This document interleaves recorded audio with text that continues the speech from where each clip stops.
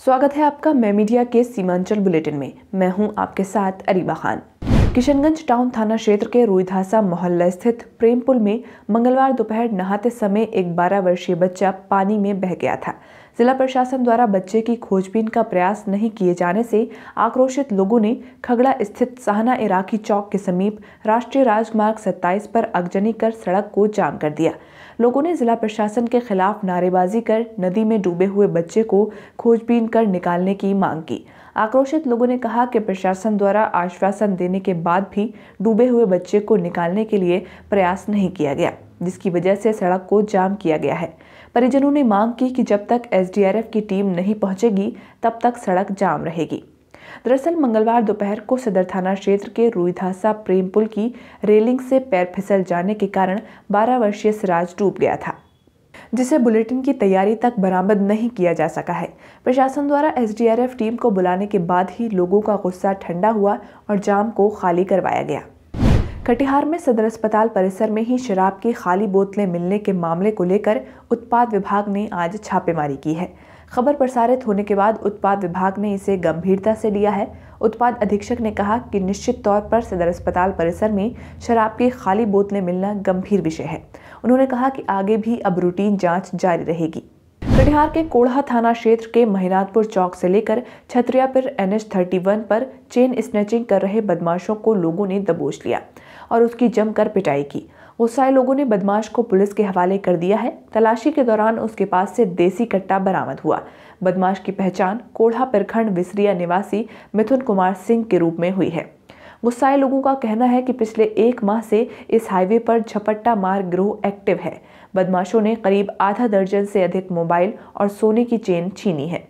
Police से इस मामले को लेकर शिकायत भी की गई, लेकिन कोई फ़ायदा नहीं हुआ। इसके बाद युवकों ने बदमाश को धर दबोचा। बिहार के पोठिया ओपी थाना क्षेत्र के सामुदायिक स्वास्थ्य केंद्र समेली में भर्ती जूली कुमारी और उसके बच्चे की मौत प्रसव के दौरान हो गई। परिजनों ने दोनों की मौत का जिम्मेदार डॉक्टर की लापरवाही को बताया है। परिजनों के आक्रोश को देखते हुए सभी स्वास्थ्यकर्मी पीएससी छोड़ फरार हो गए। परिजनों के रोने से पूरा पीएससी परिसर में मातम का माहौल है। आक्रोशित परिजनों और ग्रामीणों ने एन को आगजनी कर जाम कर दिया। परिजनों की माने तो कोई भी पदाधिकारी उनकी सुध लेने नहीं पहुँचा। घटना की सूचना मिलते ही पोठिया ओपी पुलिस घटनास्थल पर पहुँची और परिजनों व ग्रामीणों को समझा बुझाकर शांत करवाया और जाम को हटवाया। परिजनों ने आवेदन देकर दोषी डॉक्टर और स्वास्थ्यकर्मी पर कार्रवाई की गुहार लगाई है। अररिया नगर थाना क्षेत्र के डमहेली में घरेलू विवाद के दौरान एक युवक ने जहर खा लिया, जिससे वह बेहोश हो गया। परिजनों को इसकी जानकारी मिलते ही आनंद फानन में उसे इलाज के लिए सदर अस्पताल अररिया में भर्ती कराया गया। सदर अस्पताल के चिकित्सक ने प्राथमिक उपचार के बाद युवक की स्थिति गंभीर देखते हुए उसे बेहतर इलाज के लिए हायर सेंटर पुणिया रेफर कर दिया।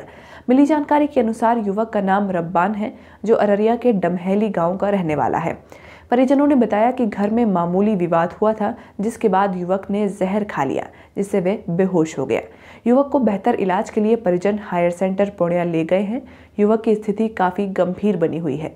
अररिया के रानीगंज गोलीकांड में घायल हुए पत्रकार बलराम विश्वास की स्थिति में अब सुधार है। उनका इलाज पुणिया के एक निजी अस्पताल में चल रहा है।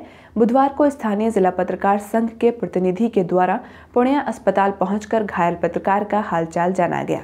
वहीं अस्पताल के चिकित्सक से घायल की स्थिति की जानकारी ली। चिकित्सक ने उन्हें खतरे से बाहर बताया है। अस्पताल के चिकित्सक ने बताया कि घायल की स्थिति अब सामान्य है। दो से तीन दिन में बलराम विश्वास को अस्पताल से छुट्टी दे दी जाएगी। नीतीश सरकार के 15 साल पूरे होने पर किशनगंज में जेडीयू नेताओं के बीच जश्न का माहौल रहा। जेडीयू नेताओं द्वारा इस मौके पर ज़िले भर में कई कार्यक्रमों का आयोजन किया गया। जेडीयू प्रदेश सचिव डॉक्टर तारा श्वेता आर्या ने एक प्रेस कॉन्फ्रेंस कर कहा कि सीएम नीतीश कुमार की अगुवाई में राज्य विकास के पथ पर अग्रसर है।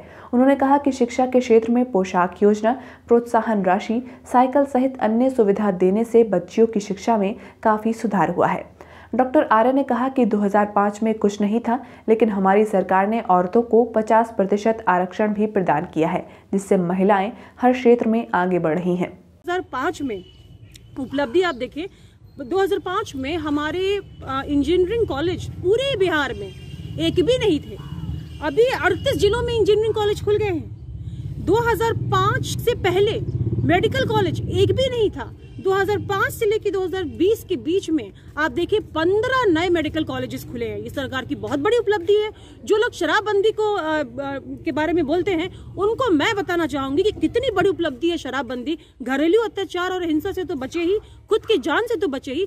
साथ में आप ये देखिए कि ड्राइविंग जो रोड एक्सीडेंट्स है अंडर ड्रंकन कैटेगरी पहले 2005 में उसकी गिनती थी 1457 केसेस रोड एक्सीडेंट्स के हुए थे। वही आप देखिए 2020 में इट इज़ ज़ीरो एक भी ड्रंकन कैटेगरी के अंडर में रोड एक्सीडेंट्स नहीं हुए हैं। दिस इज़ ज़ीरो जो भी हुए हैं, वो अदर कॉजेज की वजह से होंगे। ड्रंकन कैटेगरी में नहीं। ये अपने आप में बहुत बड़ी उपलब्धि है। कटिहार नगर निगम क्षेत्र के वार्ड नंबर 23 में जनता दल यूनाइटेड के द्वारा सदस्यता अभियान चलाया गया। इस सदस्यता अभियान के दौरान कटिहार के जेडीयू सांसद दुलाल चंद्र गोस्वामी मौजूद रहे। कार्यक्रम के दौरान आठ लोगों को सांसद दुलाल चंद्र गोस्वामी ने पार्टी की सदस्यता दिलाई। मौके पर कटिहार के सांसद दुलाल चंद्र गोस्वामी ने बताया कि अल्पसंख्यक समाज का जेडीयू के प्रति लोगों का रुझान बढ़ा है। और कटिहार में तो खास करके माइनॉरिटी में जनता दल यूनाइटेड के प्रति इतना आग्रह भरा है कि पिछले कई दिनों से रेगुलर जो है माइनॉरिटी समाज के युवा, पुरोर, बुज़ुर्ग, देखिए एक बुज़ुर्ग आदमी है। और ये लोग खुशी खुशी जेडी ज्वाइन कर, कोई प्रेरित करके नहीं कि आइए ज्वाइन करिए और हम लोग बुला रहे हैं। लोग से आप इंटरव्यू लीजिएगा। कि जेडीयू क्यों ज्वाइन करे तो नीतीश कुमार जी का विकास का कामों को देख कर बिहार सरकार के 15 साल पूरे होने पर सरकार के कार्य को लेकर कांग्रेस के राष्ट्रीय महासचिव सह पूर्व सांसद तारिक अनवर ने कड़ी प्रतिक्रिया दी है। उन्होंने कहा कि बिहार में जो विकास होना चाहिए था, वह कहीं दिख ही नहीं रहा है। इतना लंबा समय मिलने के बावजूद सरकार उद्योग के क्षेत्र में कोई विकास नहीं कर पाई, जिस कारण आज भी पूरे बिहार के साथ साथ सीमांचल इलाकों से रोज़गार की तलाश में अन्य प्रदेशों के लिए मजदूरों के पलायन बड़ी समस्या है। अच्छा तो हमको नहीं लगता है पंद्रह साल हम जब हमने हमेशा इस बात को कहा है कि सोलह साल, पंद्रह साल, इतना इतनी लंबी अवधि तो किसी को मिली ही नहीं। और इतनी लंबी अवधि मिलने के बाद भी अगर बिहार का कल्याण नहीं होता है, बिहार अभी भी बीमारू राज है तो फिर उसके, उनकी तारीफ़ किया जाए या बुराई किया जाए, समझ में नहीं आता हमें। ना कोई उद्योग लगा हमारे प्रदेश में सोलह साल में, ना कोई ऐसा काम हुआ। आज भी पलायन सबसे ज़्यादा अगर कहीं होता है तो वो बिहार से होता है। तो क्या दावा करते हो? किस बात का दावा करते हैं कि बिहार आगे बढ़ रहा है? किशनगंज डीएम डॉक्टर आदित्य प्रकाश के द्वारा ठाकुरगंज प्रखंड भ्रमण के दौरान गलगलिया चेक पोस्ट पर वाहन की आवाजाही और चेकिंग कार्य का निरीक्षण किया गया। साथ में एसडीएम और एसडीपीओ भी मौजूद रहे। ज्ञात हो कोई गलगलिया चेक पोस्ट पर उत्पाद चेक पोस्ट का निर्माण किया जा रहा है, इससे राज्य में लागू मध निषेध पर और भी सख्त तरीके से प्रभावी नियंत्रण किया जा सकेगा। सिलीगुड़ी में एसएससी और वेस्ट बंगाल सेकेंडरी एजुकेशन में भ्रष्टाचार सहित टीएमसी के भाई भतीजावाद की नीति के खिलाफ वाम युवा व छात्र संगठन ने डीआई कार्यालय के सामने प्रदर्शन किया। काफ़ी देर तक प्रदर्शन करने के बाद एक प्रतिनिधि दल डीआई कार्यालय में गया और उन्हें ज्ञापन सौंपा। उन्होंने आरोप लगाया कि टीएमसी सरकार में एसएससी व वेस्ट बंगाल सेकेंडरी एजुकेशन में टीएमसी नेता व कर्मी या उनके परिजनों को ही नौकरियाँ दी जा रही हैं, जबकि योग्य अभ्यर्थियों को नौकरी से वंचित रखा जा रहा है। उन्होंने मांग की कि जो लोग इसमें लिप्त हैं, उन्हें जल्द ही जेल में डाला जाए।